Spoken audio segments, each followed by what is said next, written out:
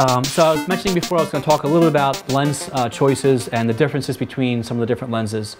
Um, so we were talking about you know wide angles versus um, telephoto lenses. Um, but one of the things that people don't really think about is it's not just you know relative uh, to your distance to the subject, but it's also relative to um, what the background is. So if you think about it, if I was to take a really wide angle lens and photograph something that's really close to me, let's say this the screen is my background and my subject is right here. If I if I shoot from this distance, I can include that whole screen with a wide view.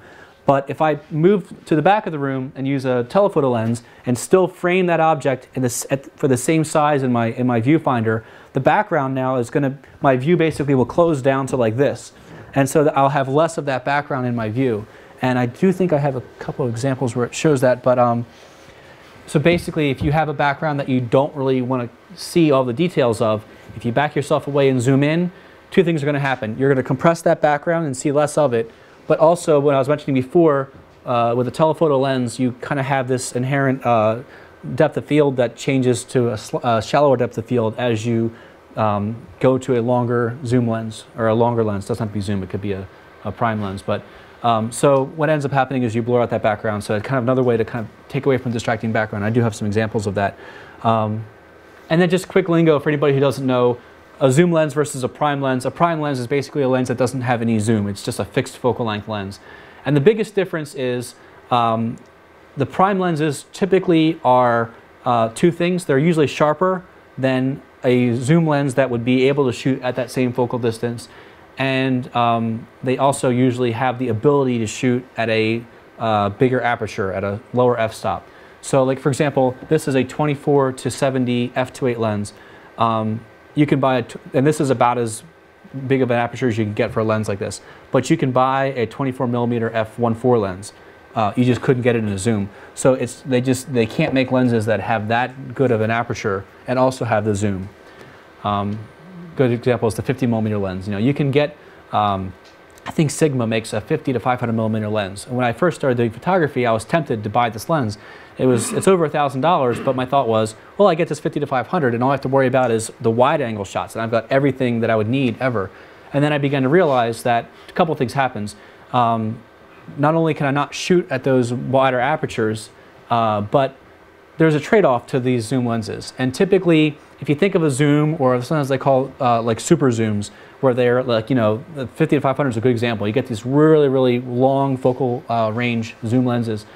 The quality is just not going to be as good throughout that whole area. There's, there's usually a, an area where they're decent, and then like with, the, these super zooms, as you go to the far end, where let's say between 200 and 500 in that case, they get considerably softer and, and um, the quality drops off quite a bit a lot of times. So, um, so it's kind of a trade-off. Sometimes it's really convenient to have a single lens you can walk around with and it does everything you want to do as far as framing goes um, and not have to worry about changing lenses and carrying the extra weight. And for traveling and things, sometimes that's nice.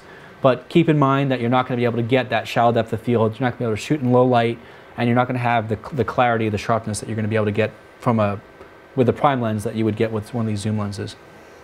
So when you're out shooting, um, you know, lens selection also helps you to determine like how you're framing and how you're, you're selecting what portions of your image to shoot. And again, you can't, you have to kind of think photographically because you can't zoom with your eyes. And you can't look across the water and say, oh, I love that, that osprey nest. And if I zoomed in with my eyes, I could see, you know, the details and, and take away the background of whatever else.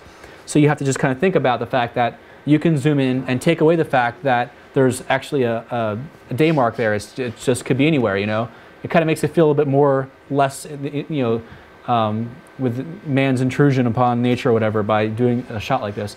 But there's times where you couldn't use a, a, a zoom lens and move yourself back. In this case, this is um, a 10 and a half millimeter fisheye lens. The camera is sitting through the steering wheel right where my speedometer is. And there's no other way to get this kind of a shot other than to use a really wide angle.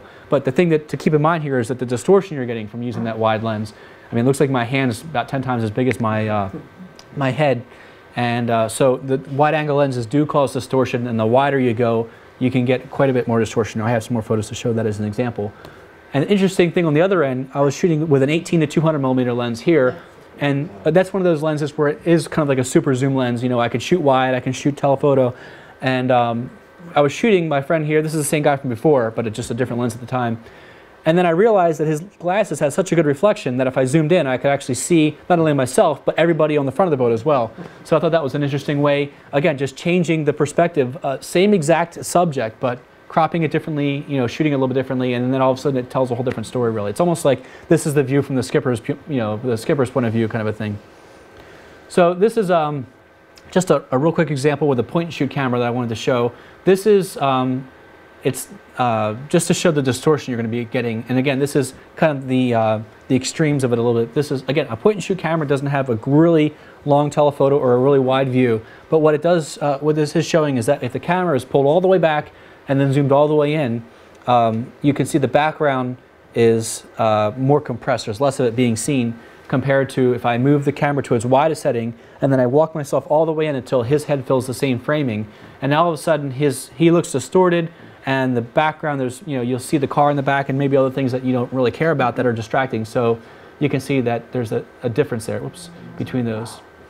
So and this is now this is using a 10.5 millimeter fisheye lens. And I was getting distortion but I brought that horizon this is a good, good a reason to break that rule of thirds. Rather than have that horizon on the top or on the bottom or something like that I put it right across the center because otherwise I was going to get this bowing effect. And this is kind of what it would be doing. Different location. This is Bryce Canyon different location, but the same kind of a thing. This distortion you get from the 10.5 10 millimeter lens. So this is great because I can really see a lot of this uh, canyon. And this is actually an interesting thing. Growing up on the, on the East Coast, um, there wasn't a lot of places other than maybe being out on the water um, where you would see just a wide expanse where you could, you know, um, kind of feel like you're taking in such a huge amount of stuff at once.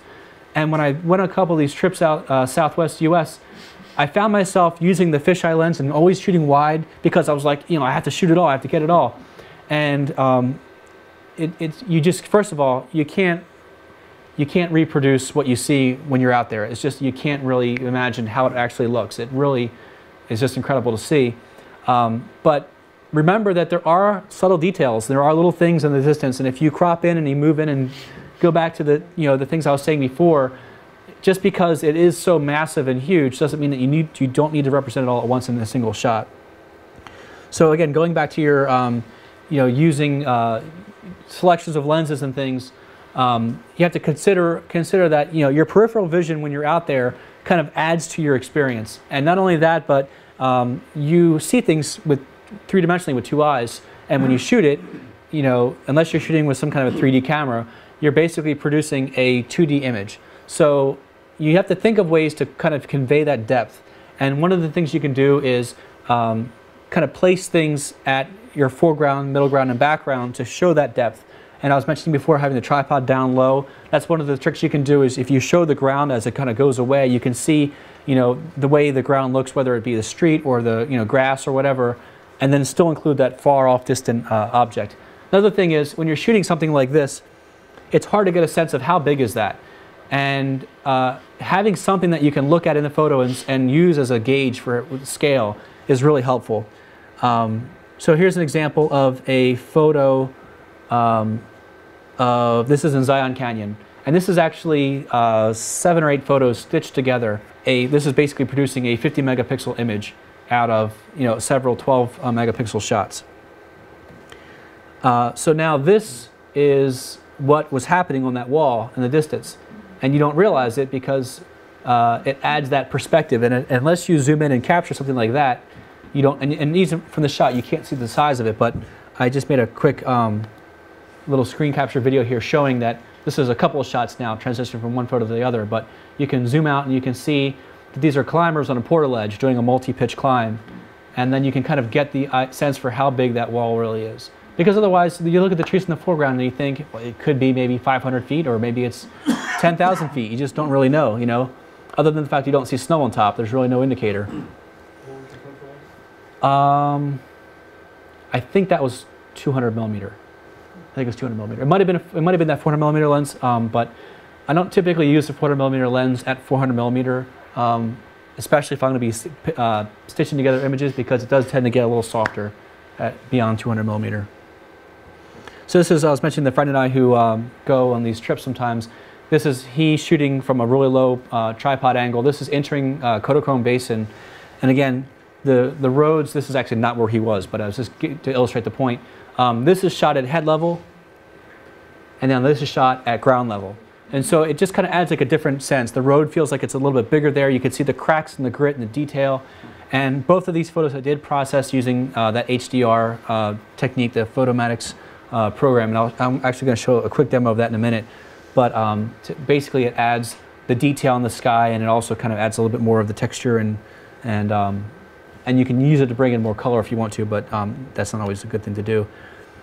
Uh, interesting thing was we were, this is um, Valley Fire State Park, if I'm not uh, wrong, and we saw this little pullover spot. You can see the shoulders a little wider there, and the road had this little interesting S curve, and that's one of the, the one of the kind of uh, things that, again, if you're going back to the rules or things to look for, one of the things that a lot of times you'll hear people is look for threes or look for S's and different things that you want to kind of frame in your shot. So I thought this made an interesting uh, photo. The, the middle of the road as it goes uh, out into the this distance is on that right hand third and my, uh, my horizon area is sort of at that bottom third. Um, but then looking at that and I thought maybe this would look more interesting if I kind of focus more on that little S-curve area and you know and again so nothing says that you have to shoot everything horizontally nothing says that you have to shoot everything level for that matter you know sometimes there's certain shapes and things that are going on that it's okay to you know kind of break that rule of I got to make sure I don't, you know, get a little bit crooked. You know, in this case, it's very crooked. An interesting thing was uh, Scott Kelby, who uh, produces a lot of books. He's the, the um, president of the National Association of Photoshop Professionals, put out this book um, about digital photography, uh, with Photoshop for digital photography, and just so happens that he was in the same spot. When we first saw this photo, my friend Tim and I, I didn't think it was my photo because it looks like he's a little further down the road just by a tiny bit. But uh, my friend Tim said his photo is so close to this that he had to really compare to see if this was the same photo. And it's not. It's just, it's just you know, looking, seeing things photographically, you, something catches your eye, and this is probably a common place that people pull over. And there's nothing there that would indicate that this is like a photo op or anything. It just you know catches people's attention in that way. So again, showing that sense of scale. This is down in Bryce Canyon now. And when we first got there earlier in the day, it was in the middle of a snowstorm, so that's why this is earlier in the day when the sky is still really uh, pretty um, overcast. But you can see there, kind of in the center there, there's a person walking on the trail. And that gives a little bit of a sense of uh, the, the height there. And then using foreground elements to kind of give that sense of depth. So this tree we thought was really kind of cool because you know, the, the wind is blowing away the dirt so much that it looks like it's almost walking there, you know. Um, but the, the little tree to the left and the one to the right kind of add that sense of the foreground. And then you've got this bigger formation in the middle ground to the left there, and then just off in the distance, all the, the stuff that's kind of obscured by the, the weather.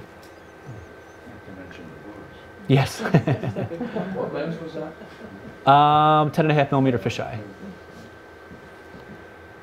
So this is an example of, this is back in, um, I believe this is Valley of Fire State Park, and getting the camera really low.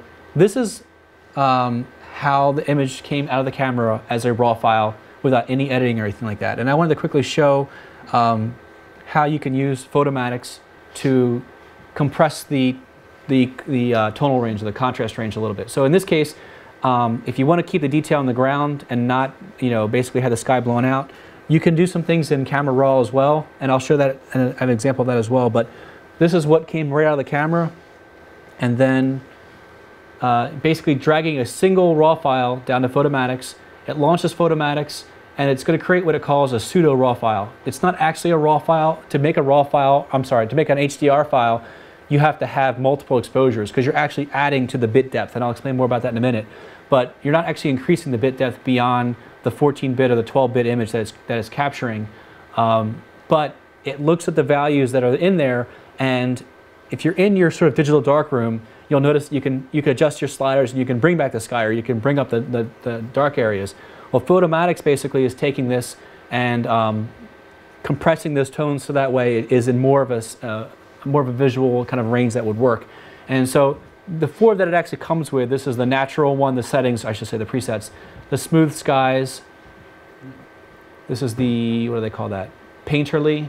And the last one is grunge. Those are the four that it comes with. And this is why HDR gets a bad name because a lot of people just say this is the one and it's, you know, it's crazy and I love it.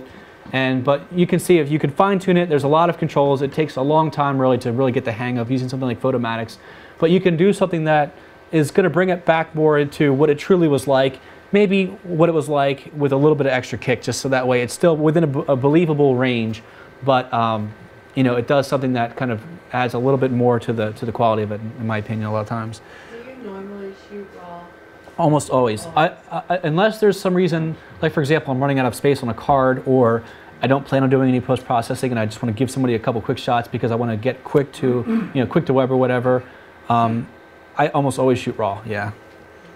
So again, this is the before, and then the after using that HDR processing.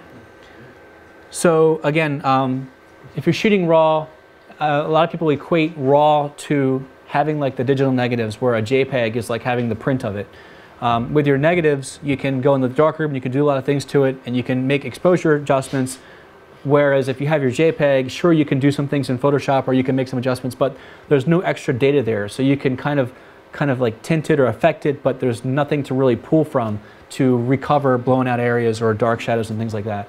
Um, so, and because, and the reasons to shoot RAW is because the camera doesn't always necessarily get it right. If it's trying to evaluate the light in an area, if you have a really dark spot or a really bright spot, if it's trying to include that into the total range to try to, to make the exposure, you may or may not want to put as much emphasis on those spots to, to, to be able to get the shot that way. So, um, so this is that same image, and now I'm going to show you how you can get that sort of an HDR kind of a look just using Camera Raw, uh, which is basically a sort of plugin, I guess if you want to call it that. It's a, it's a sidecar application that is comes with Photoshop. So if you buy Photoshop, you get Adobe Camera Raw with it.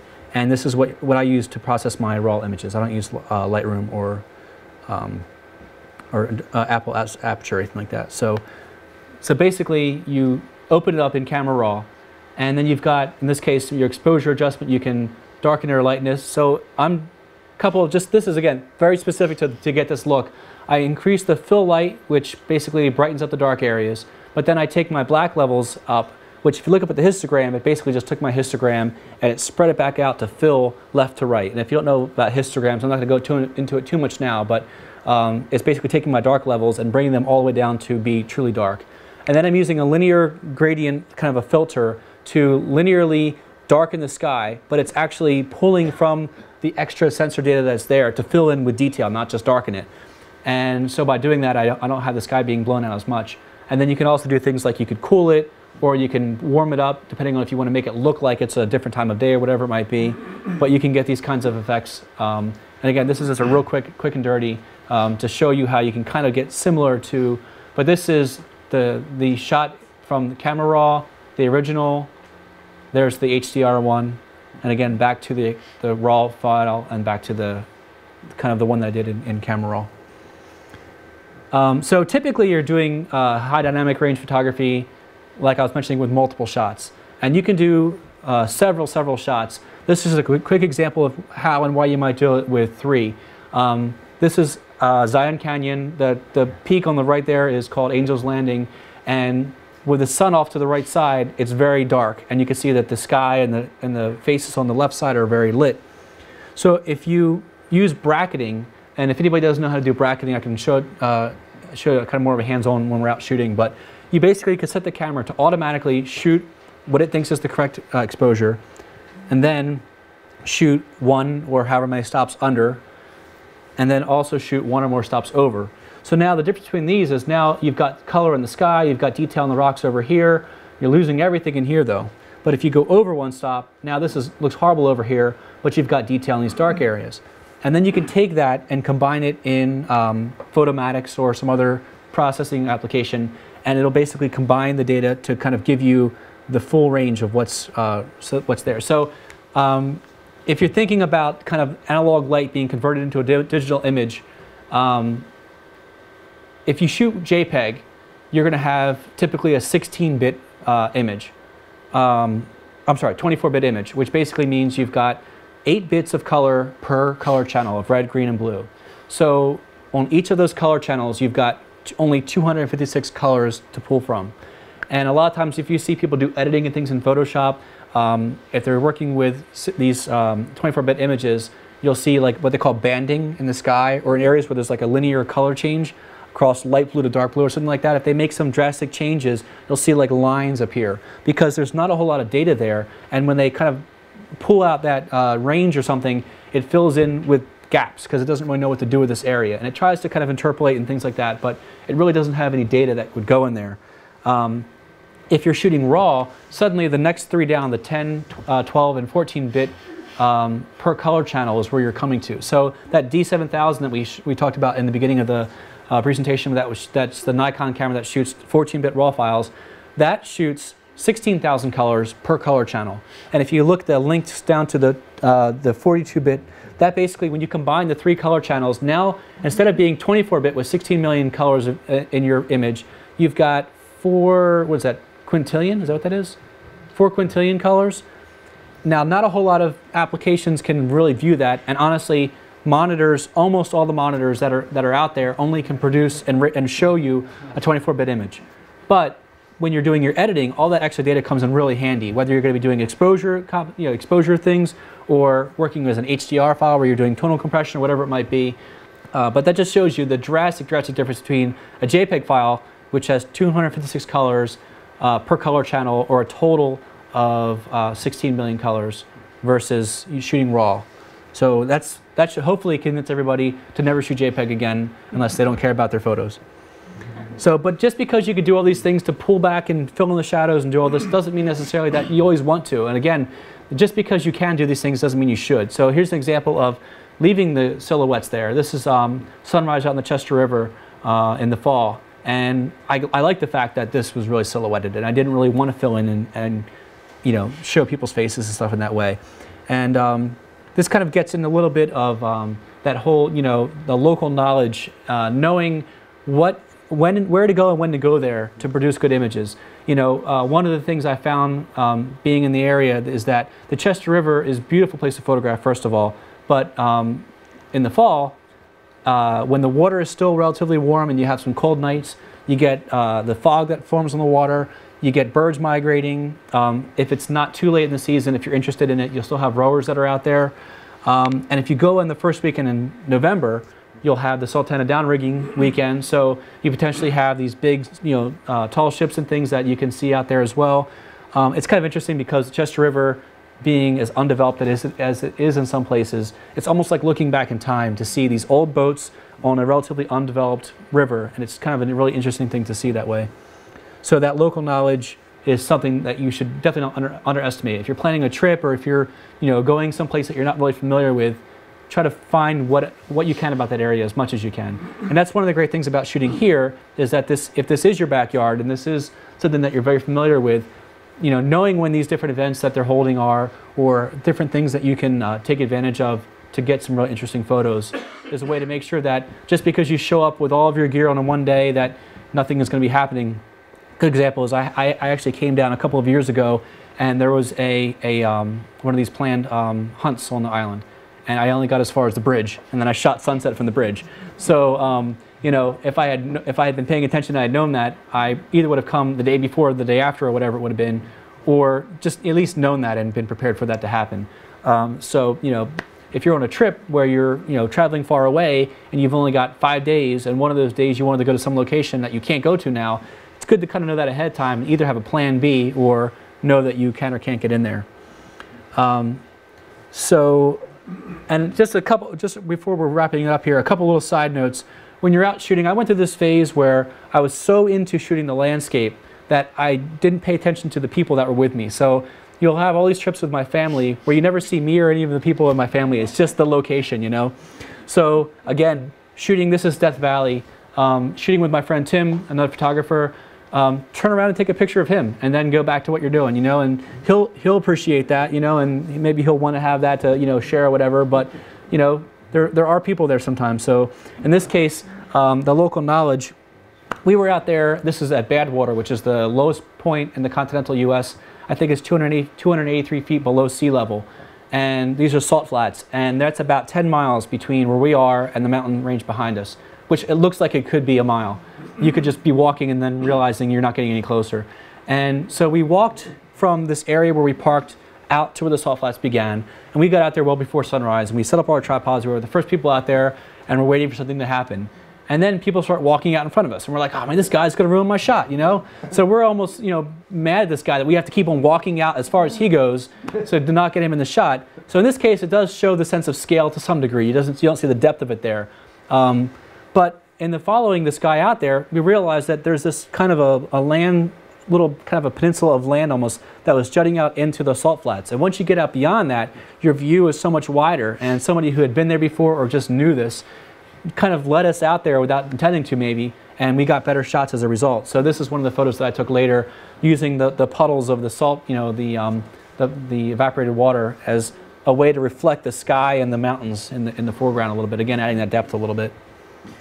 Um, and again, going out to, uh, to Page, Arizona, where the slot canyons were. Um, the, this is actually on uh, Indian reservation, uh, the, the Native American uh, land, you're not allowed to go in there unless you're you know, Native American. So um, you have to pay a guide to take you out there. But what we found out is it was actually really well worth the $50 per person because not only do they, they take you out there at the ideal time to shoot these different locations, but they knew exactly where the light was going to be. They're like, okay, let's walk 50, you know, 50 yards over this way. It's about this time. Okay, we're going to start seeing a, a, beam of light come down in a minute. You know, we set up all our gear and we're ready to shoot this. And unfortunately, that probably means there's a lot of people getting the very similar shots because you know people are being instructed on how and what to shoot. But the interesting thing was that this particular day, it was not that wet. Uh, it was not that dry. It was the ground was actually kind of wet, and it was not that windy. So there wasn't a lot of naturally occurring dust in the air. And we weren't getting these beams. On the right-hand side is kind of how it actually looks but the uh, guide was taking handfuls of this real fine sand and throwing it up in the air, and then it was falling in through these light beams, and he was artificially enhancing that for us. And we didn't ask him to do it, we didn't think to do that, but he was doing that, and so that's that local knowledge. So again, I've seen photos like this before, and I'm just thinking, how in the world is there this sand waterfall, and why does it always go? And no, it's because there's a guy back there throwing handfuls of sand up, and then it comes over and it falls down, but it makes an interesting little, uh, yeah. So again, that kind of local knowledge paid off in that case.